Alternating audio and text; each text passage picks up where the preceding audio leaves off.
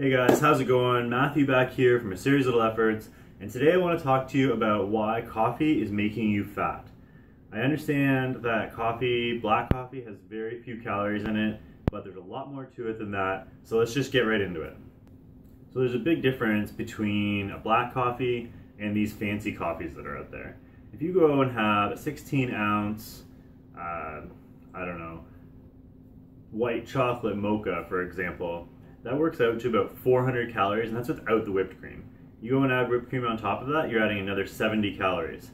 Now, you, we'll go without the whipped cream just to make the math easier, but you have two of those uh, drinks a year, or sorry, two of those drinks a week, that works out to 800 extra calories a week. When you do the math, if you just do that in excess of your normal diet, uh, where you would not gain or lose any weight, that works out to be adding 12 pounds a year to your frame just based on two coffees a week. So definitely consider that when you're looking at your next purchase at the coffee shop. Try and go black if you are going to go coffee because those fancy coffees are so, so, so bad for you. That extra 12 pounds a year was going to add up really quickly. And you add whipped cream on top of that, and I mean, it just the number just starts exploding. So for those of you who are just having regular coffee but are putting cream and sugar in your coffee, that works out to if you have sorry uh, one ounce uh, one ounce of cream and one teaspoon of sugar works out to 74 calories. So if you're having five coffees a day, which I know lots of you do, uh, it works out to 370 calories a day, which is going to work out to gaining a half a pound a week. That works out to 26 pounds over the course of the year that you're going to gain just because of your coffee. Now, I know a lot of you are saying, listen, I only drink black coffee, it has no calories in it, or I only have one coffee a day. Um, so, what I want to do now is get into how the caffeine is affecting your body and what it's doing to you to make you gain weight. Keep in mind, this isn't only coffee, I'm just using coffee as an example, but tea and energy drinks and Coke and anything with caffeine in it are included in this as well. The first main reason coffee is going to make you gain weight is because it's going to affect your sleep, obviously. Uh, especially if you're having it late at night or even later during the day. You know, for me in particular, if I have like, I don't know, anything with caffeine in it later in the day, it won't necessarily hurt my ability to fall asleep, but it does affect the deep sleep that I get into. So it doesn't really let you get into that deep REM sleep. And because of that, your body doesn't repair itself as well which again leads to restlessness at night. And obviously, the next day, you're just not as rejuvenated as you normally would be. So, this lack of sleep is going to make you fatigued. What happens when you're fatigued? You crave energy. When you crave energy, you crave sugar. And it just starts that bad cycle, and you'll start to eat poorly uh, during the day, or even if you're not eating poorly, you'll eat a lot more than you normally would if you had gotten a good night's sleep. So, definitely be careful of that. Uh, it's one of those things that not having caffeine uh, at all is obviously the most beneficial. But if you have to have a coffee, try and have it early in the morning. That way, when you are trying to go to sleep at night, it's not going to affect your sleep because it would have already worn off during the whole day of work. One of the bigger points is that coffee impairs glucose metabolism.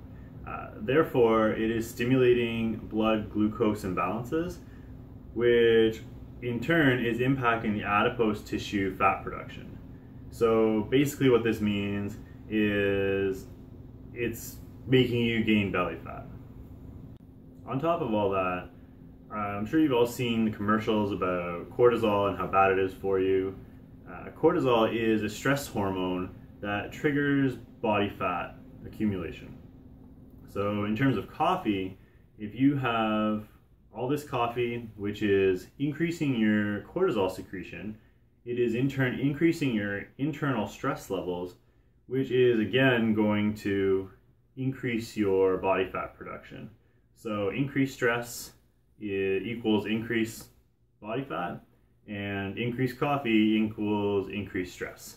So that's sort of how the first step as to how coffee is forcing you to gain weight. So avoiding stress is the main key to helping you lose weight or at least maintaining your weight. So avoiding coffee, tea, pop, uh, energy drinks, any of those things is definitely going to help you keep your weight down. All of these beverages and all these other things out there, uh, whether it be pills or drinks or coffee or whatever, uh, they can increase your body's blood sugars blood sugar levels. So what this does is it actually in the long term hurts your body from being able to manage these blood sugar levels.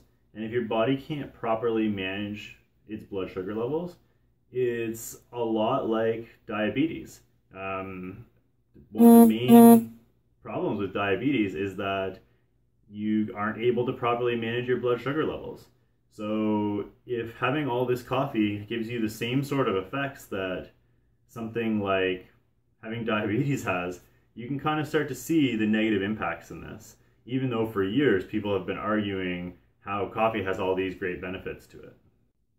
Having said that, before you go and click off the video or hit dislike and complain in the comment section, I understand. Coffee has a great amount of huge like antioxidants and all these things that are good for you, but just because it has good things for you doesn't mean it doesn't have things that are bad for you if it comes down to you're trying to maintain your weight or you're trying to lose weight, just flat out, yes, you should avoid coffee. There's no question about it. If you're in great shape and you know you take good care of your body and you're having no problems with weight gain or stress or anything like that, and you're just really tired in the morning, go ahead, have a coffee. But just don't make it a part of your daily routine. Anything out there where you're going to be able to develop an addiction, uh, as I'm sure you've seen a lot of it, you know, people will go to, in Canada, they'll go to Tim Hortons and they'll go for years and then they'll try and stop going and they can't get through the day. They have severe withdrawal with headaches and nausea and all that kind of stuff just because they didn't have their coffee.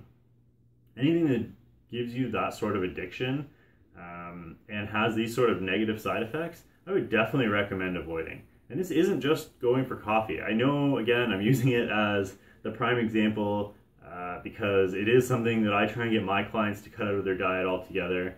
Um, I know that most people won't, and I don't even really fight them on it, but I do point it out because in terms of weight loss and stuff, it's really hard uh, if you're drinking a lot of coffee to maintain your body weight or in, to be able to improve and lose that like thin layer of tissue around your abdomen.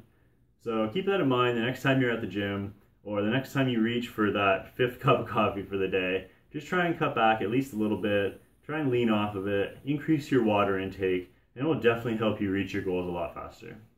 So I really hope you guys learned something in this video. It's something that I really care about and am passionate about. It's all about getting results the good, strong, natural way. Uh, if you have any questions, please leave them in the comment section down below. If you liked the video and you learned something, please comment. Uh, leave me some, some nice comments as well. Uh, I'm sure there's going to be some negative backlash from this one, so I definitely would appreciate the nice ones as well.